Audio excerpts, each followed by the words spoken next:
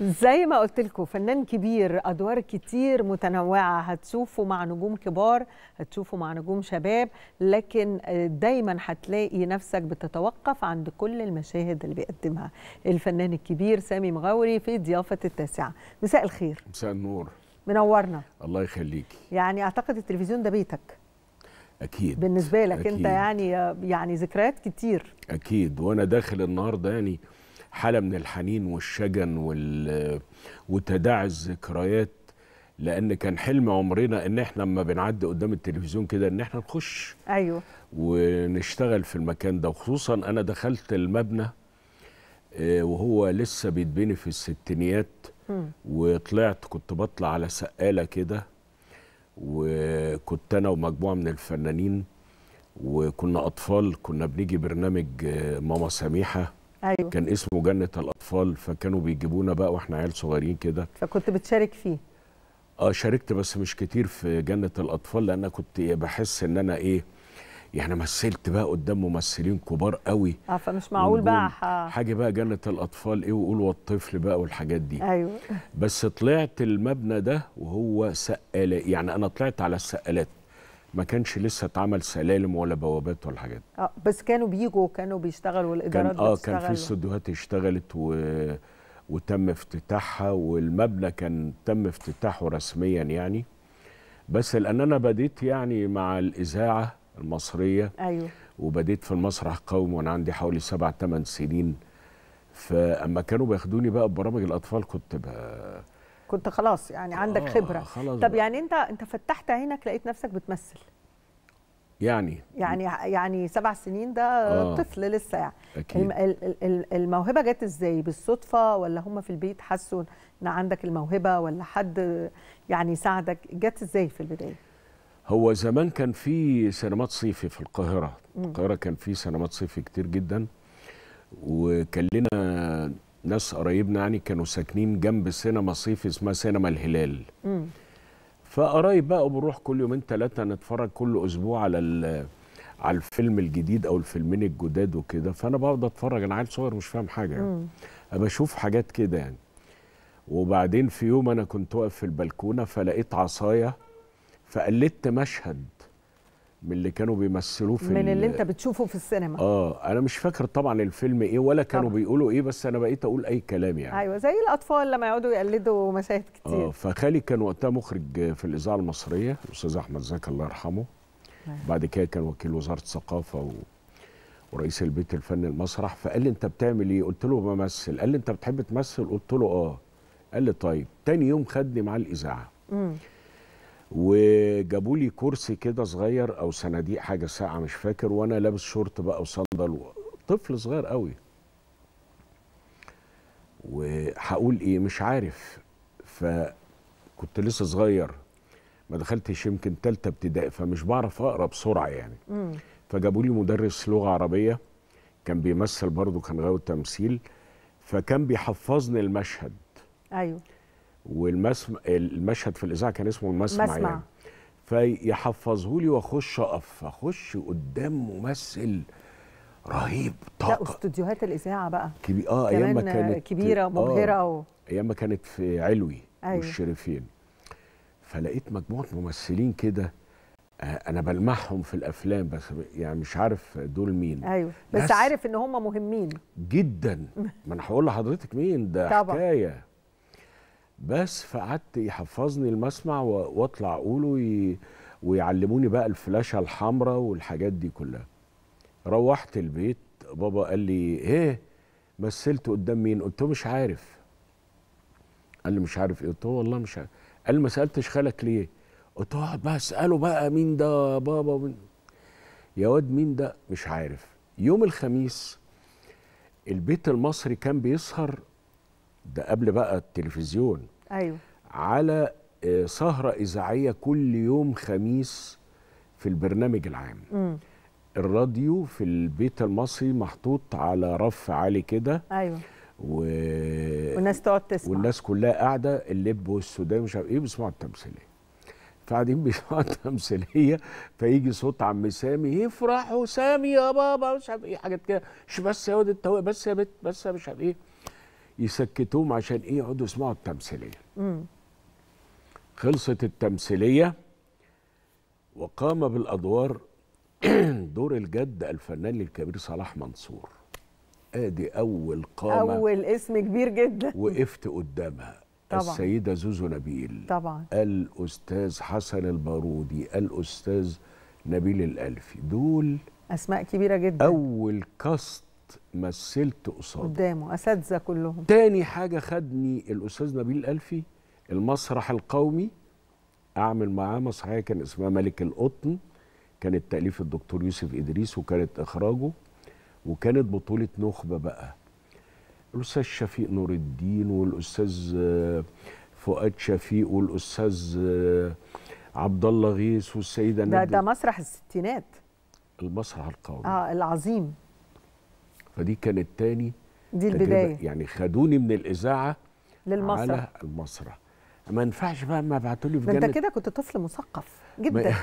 يعني طفل طفل مثقف قاعد مع ال- يعني كوكبة من النجوم. طب أنا مستغربة جدا يعني أنت بدايتك ال- الفنية المبكرة قوي اللي هو طفل يعني أنت تثقفت وتعلمت وسط العمالقة دول. إيه اللي دخلك كلية الحقوق؟ ما رحتش ليه أكاديمية الفنون مثلا أو ما أنت عارفة البيت المصري آه اللي هو ده بنقول لك إيه خد شهادتك أو اعمل اللي أنت عايزه. واعمل اللي أنت لغاية عايزه. دلوقتي بنقول كده على فكرة. آه خد شهادتك واعمل اللي أنت عايزه. ويقولوا لي شوف خالك دخل الاداب واتخرج وبعدين دخل المعهد ومش عارف. فأنا عملت كده ودخلت كلية الحقوق جامعة عين شمس. كنت شاطر? قول لي بصراحة. كنت إيه؟ شاطر؟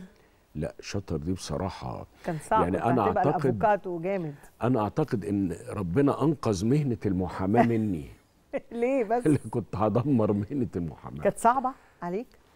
مش حكايه صعبة ما كنتش مركز فيها. أنا دخلت برضو كلية الحقوق على فريق التمثيل فكان ليل دورت على المسرح. إيه؟ قالوا لك المحاضرات هنا وفرقة المسرح هنا. ونسيت بقى المحاضرات فين والحاجات دي كلها. فبقيت طول النهار فريق تمثيل الكلية أخلص الكلية أطلع على المنتخب.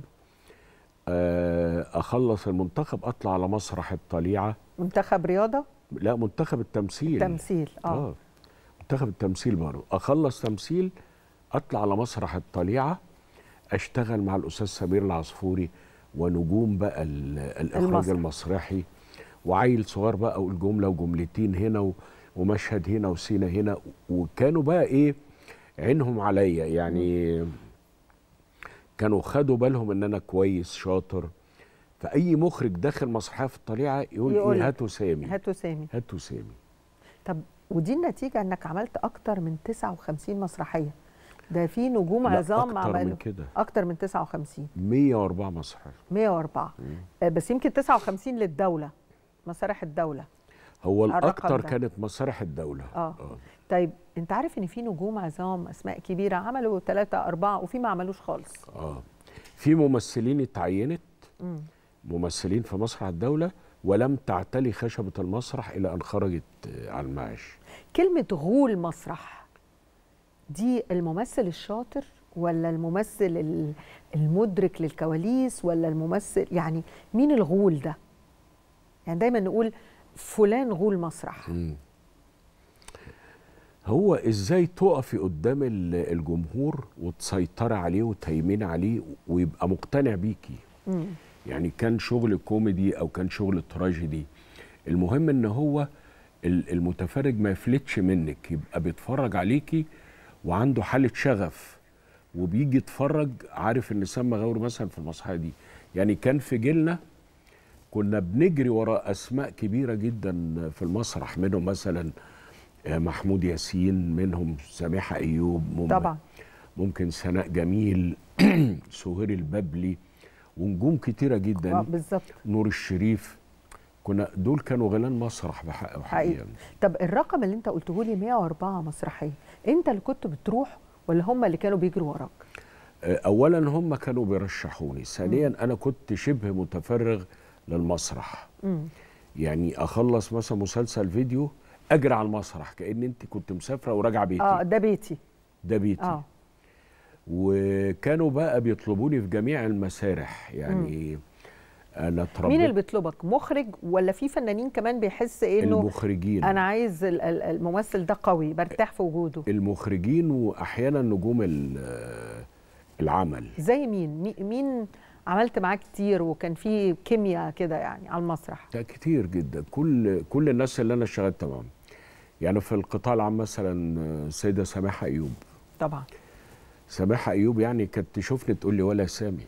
بص اوعى تخرج عن النص. شوف كلمة زيادة هتضحك ونضحك وتجيبني أيوه. واخرج عن النص وتجيبني وأقول تاني. إفيهات وتجيبني. وكان في كيمياء رهيبة بيني وبينه وأغلب نجوم ال- الستينات اشتغلت معاهم.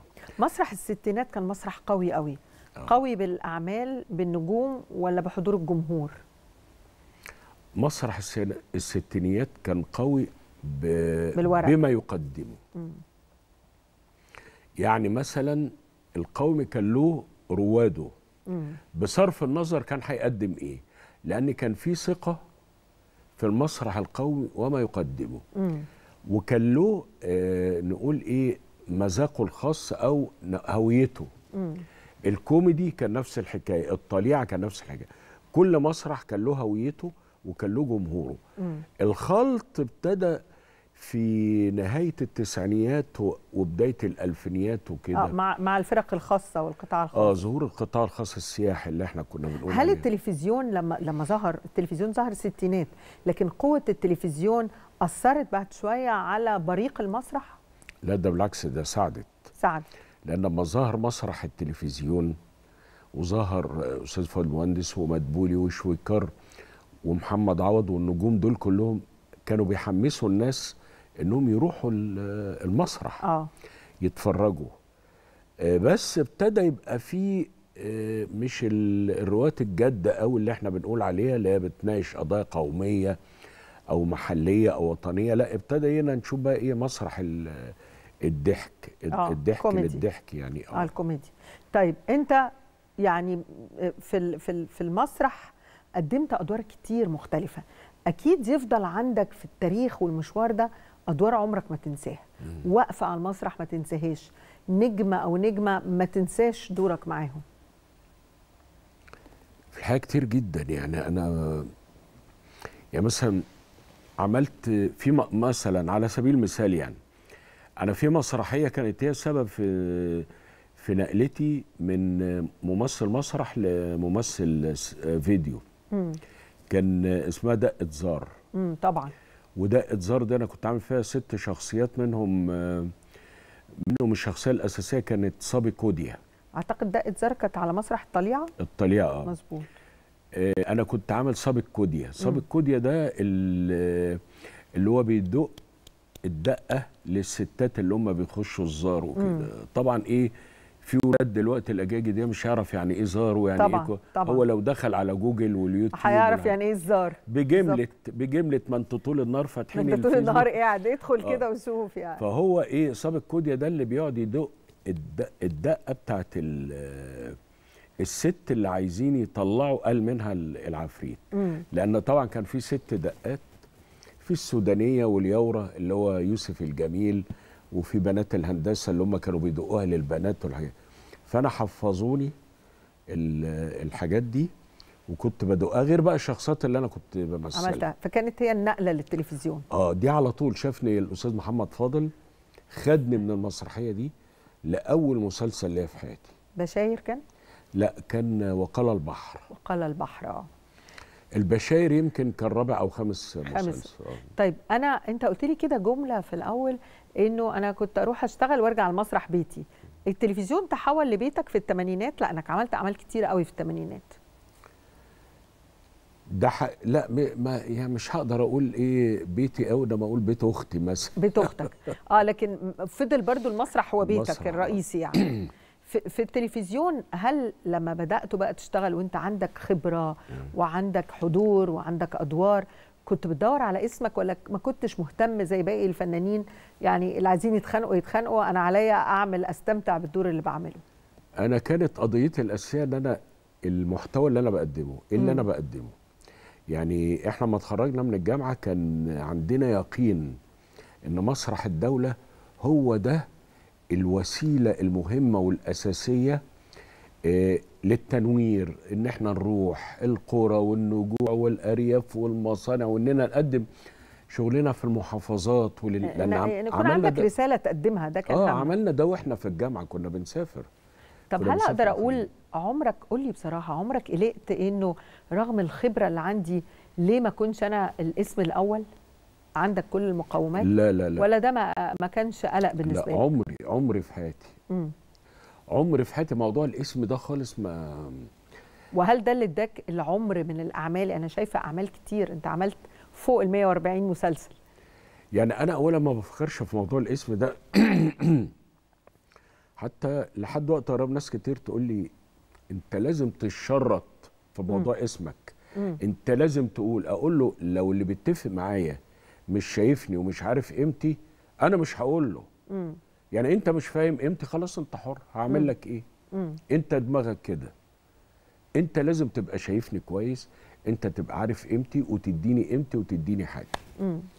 فمش قضيتي أو موضوع الاسم أو موضوع البصمة اللي أنا حاسبها المشهد اللي هعمله. الدور اللي هعمله الدور اللي أنا هعمله البصمة اللي أنا حاسبها التأثير آه، اللي أنا هعمله كفنان على الناس مين اللي كنت بترتاح معاهم كمخرجين في في الفيديو أو في التلفزيون؟ مين اللي حسيت إنهم طلعوا منك إمكانيات مختلفة غير المسرح؟ لا آه، كتير مثلا الأستاذ محمد فاضل أستاذ سمير سيف آه، أستاذ آه، إسماعيل عبد الحافظ الله يرحمه. الله يرحمهم. آه، دول من المخرجين طبعا حاليا معتز التوني طبعا حبيبي ده و يعني المايسترو بتاعنا في اللعبة اللعبة اللي عملت ضجة طبعا النهارده طبعا آه. طيب خلينا كده اللعبة. إحنا وصلنا للشباب مم. فعشان الشباب دول ليهم كده كلام كتير معاك فضل الفنان سامي مغوري موجود بيمثل لا فارق معاه اسمه على العمل ولا فارق معاه حجم العمل فارق معاه إنه لما يطلع ويقدم دور حضراتكم تحبوه وتحترموه هنكمل مع عم سامي مغوري بعد فاصل قصير خليكم لسه في كلام كتير.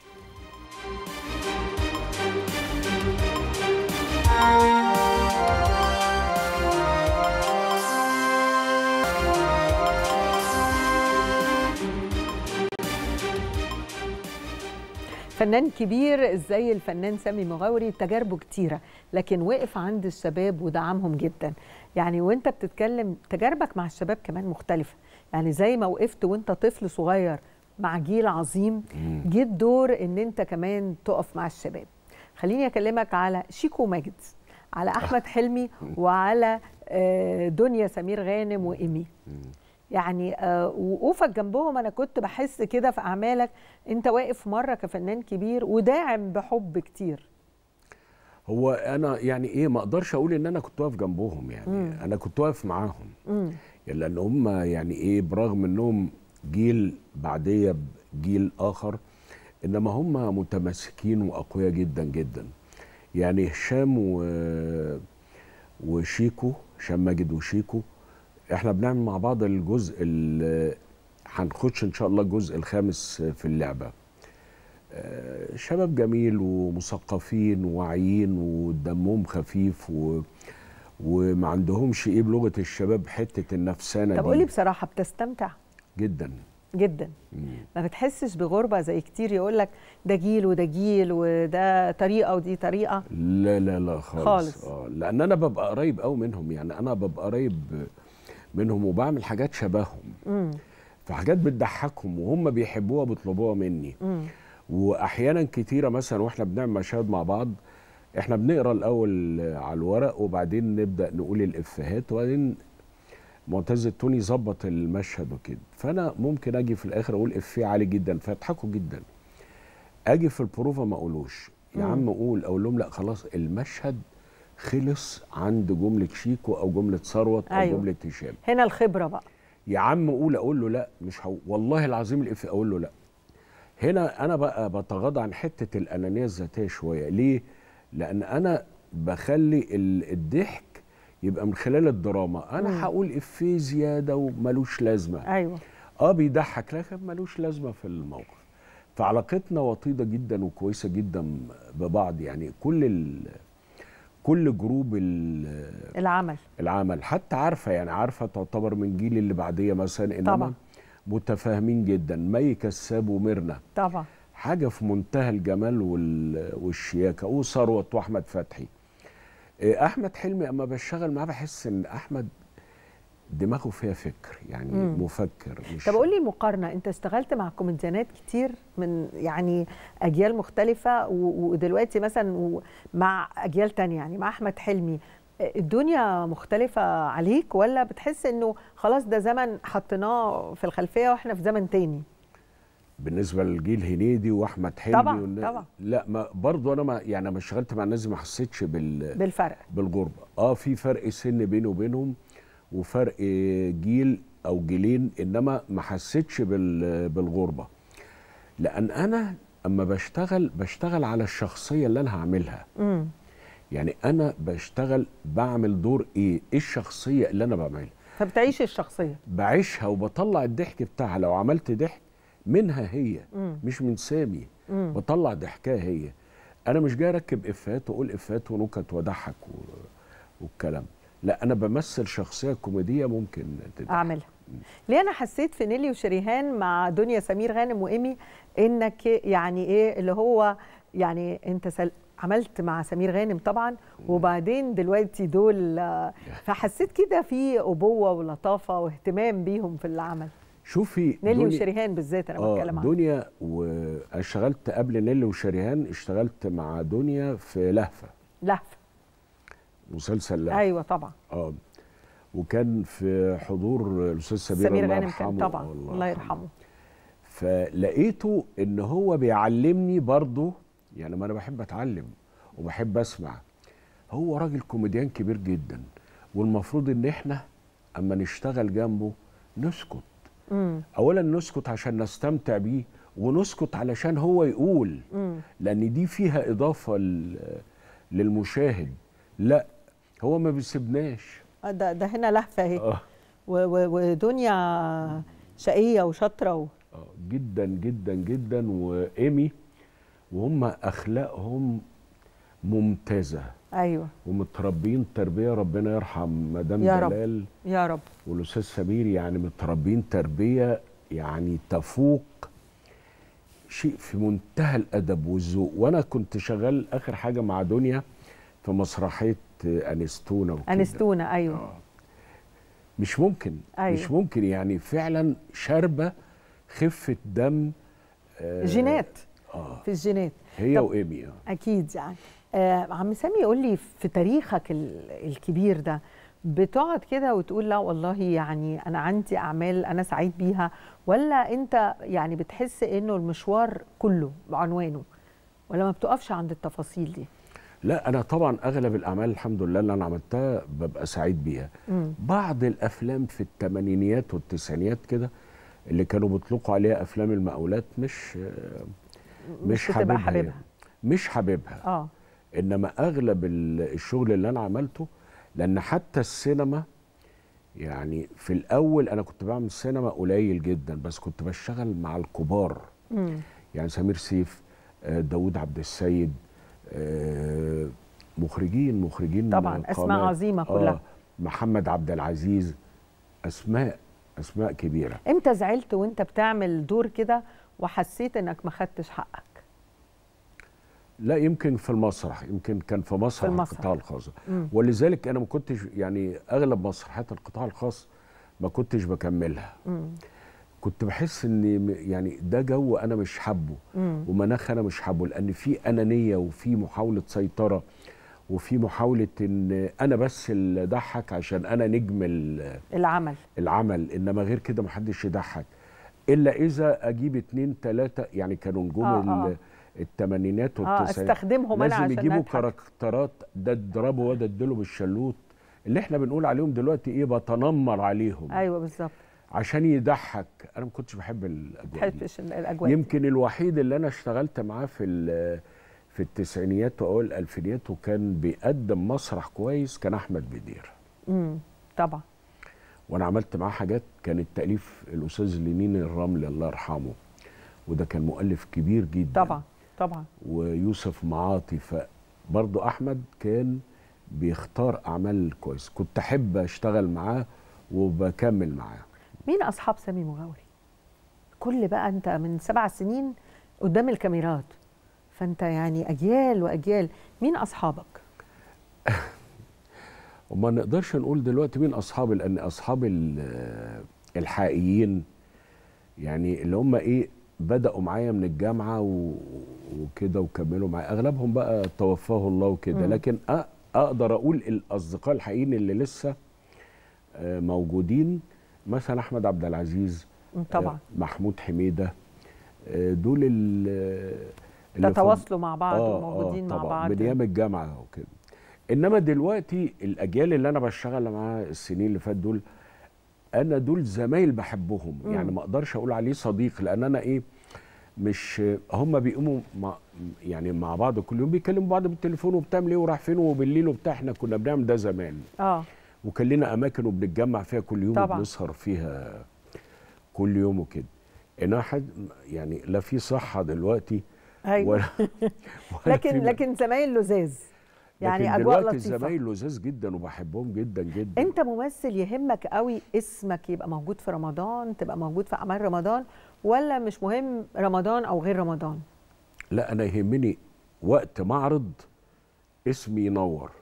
آه. يعني مش بالضرورة رمضان. طبعا رمضان بيبقى شهر فيه بركة. طبعا. فيه خير وبركة وكده. وبيبقى يعني وشه حلو على ممثلين. في نجوم ظهرت في رمضان.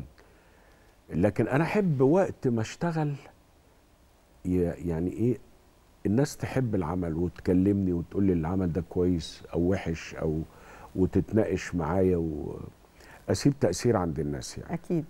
مين النجم اللي رافقته في أعمال كتير وكنت تحب تشتغل معاه؟ في كيمياء بينك وبينه. كان في مثلا الأستاذ نور الشريف الله يرحمه. طبعا. كان في الأستاذ فاروق فشاوي طبعا. كان في الأستاذ ممدوح عبد العليم أكيد ممدوح إحنا اشتغلنا مع بعض اشتغلتوا كتير, كتير مع بعض وأنا فاكر أيام كنا بنعمل الضوء الشارد أنا كنت بعرض مسرحية في اسكندرية وكانوا أحيانا يجيبوني كل يوم أجي أعمل مشهد وأمشي ومن حبي كنت في ممدوح لأن كان في علاقة صداقة بيننا أيوة. وبين بعض وحبي في مجدي أبو عميرة لأن أيوة. أيوة. مجدي من الناس مخرجين المبدعين المخرجين اللي يعني أنا مش بتعامل معاه كمان كمخرج أنا بتعامل معاه كإنسان بحبه جدا جدا جدا. ومن ريحة زماننا بقى والزمن الجميل وكده. آه، محمود حميدة. محمود حميدة عملت معاه أكتر من حاجة برضه وبحب أشتغل معاه. كلهم أسماء مبدعة. الحقيقة الحديث معاك جميل مشوارك أكتر من رائع. أعمال كتيرة. إيه اللي نفسك تعمله؟ إيه اللي نفسك فيه ما حققتوش؟ آخر جملة. اللي نفسي أعمله. يعني أنا نفسي أعمل مسرح يبقى مكتوب عليه مسرح سامي مغاوري. الله. يمكن الناس تقول ده مجنون ولا؟ لا ليه؟ ده من حقك. آه. يعني عملت فوق ال 104 مسرحية فوق ال 150 مسلسل وعملت أفلام كمان عدد كبير جدا. أعتقد مسرح سامي مغاوري مش مش هتبقى كتير عليك ابدا بالعكس. أتمنى والله. تتمنى. وبشكر كل الناس اللي أنا اشتغلت معاها في تاريخ حياتي. مم. وكل الناس اللي وقفت جنبي و... وفي ناس كتير جدا وقفت جنبي وشجعتني. أنا أول ناس بعرف إن أنا كويس أو وحش وأنا بصور أي عمل جديد الناس الفنيين اللي بيبقوا ورا الكاميرات والعمال أيوة. نظرات عينيهم بتقول لك العمل ده ناجح ولا أنت لا. كويس ولا وحش. أكيد. طيب نظرات عينين ال- ال- الأساتذة اللي معانا في اللقاء قالت لك أنت كويس ولا لأ؟ قالت كتير. قالوا لي أنت كويس قوي بس عايزين نروح. عايزين نروح. أنا بشكرك. أنت نورتني وبنشرف إن إحنا نتعامل مع كل فنانينا أشكرك. الكبار اللي بيقدموا دايما محتوى جميل ومحترم. أشكرك. سامي مغاوري فنان كبير وممثل كبير. أشكرك جدا وأنا بشكر التلفزيون المصري وبشكر البرنامج وانتوا آه، رجعتوا لي آه، حالة من الذكريات جميلة جدا. هذا الاستوديو العظيم قدم عشرات الأعمال التاريخية لعشرات المخرجين أحمد توفيق طبعا وجلال طبعا. غنيم وأحمد خضر أسماء ومحمد كلها فاضل كبيرة. وانعم محمد علي. عملوا تاريخ فني لمصر صحيح. والعالم العربي. أكيد. فنان سامي مغاوري نورتنا الله في التاسعة. الله بشكرك. أشكرك. مشاهدينا انتهى الوقت. وجميل إنه ينتهي بقيمة ورمز كبيرة زي فنان كبير بيقدم حاجات كتير مسرح سينما تلفزيون. التاسعة مستمرة غدا. الزميلة العزيزة هدير هتكون معاكم أما أنا ألقاكم بإذن الله في موعدي دايما يوم الخميس. تصبحوا على ألف خير.